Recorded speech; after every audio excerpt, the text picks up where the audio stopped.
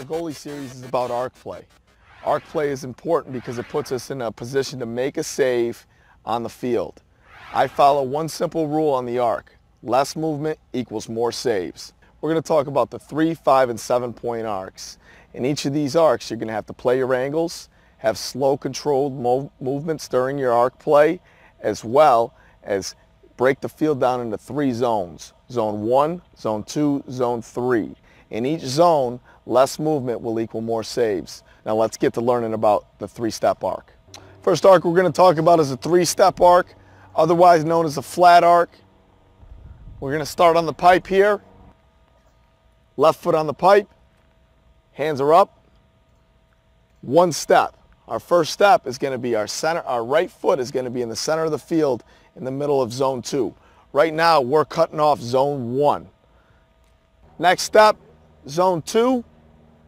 Heels are almost on GLE in a good, set, good stance here.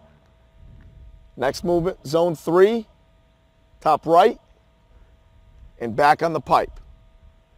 Now the three-point arc is as well known as a flat arc because the deeper you play back in the net, the more time you're going to have to see the shot. Now we're going to talk about our five-step arc. Now, a lot of collegiate goalies still play this arc.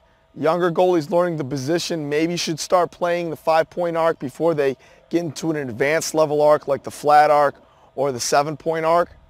If we start on this pipe, our first movement in zone one is going to be about six inches off the pipe. And we take a step out. Unlike the three-point arc where we're flat, we're taking a step out we're attacking the angle of the shooter. So our first step would be here, one. Second step into zone one, our right foot splits the field in half, and we're in good position here to make a save. Three, you're dead center in zone two. Next step, four, splitting the field in half. Step five, in good position to make the save. Five, you're about six inches off the pipe, and then you're crashing the pipe. That's a five-point arc. Younger goalies should learn and start playing with a five-point arc. At the collegiate level, I know a lot of goaltenders prefer the five-point arc just for the fact that they're out above the, uh, above the GLE, and that makes it harder for the shooter to find an angle to shoot the ball in the cage.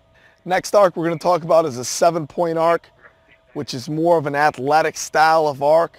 Um, it's not as popular as it used to be, but still some collegiate goalies and some high school goalies do play this arc. It cuts down the angles, eh, the angles of the shooter tremendously. Goalies tend to take a big step out and play about a foot to a foot and a half off of the, off of the crease line. So we'll start on this pipe. Our first step out is going to be in the zone one. First step, one, Two, basically splitting zone one and a half with our second step on the seven point. Three, our right foot splitting the field in half, and we're in good athletic stance.